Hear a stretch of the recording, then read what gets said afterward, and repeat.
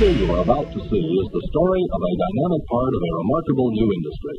It is the story of Tupperware. Earl Tupper was a prolific inventor, jotting down his ideas in his ever present notebook. After dozens of failed attempts, he got to work on what he called the Wonderlier Bowl, which was created without the filler that typically made plastic stiff.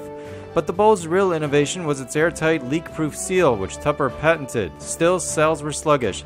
Enter Brownie Wise, a rep for a range of cleaning utensils sold at home parties.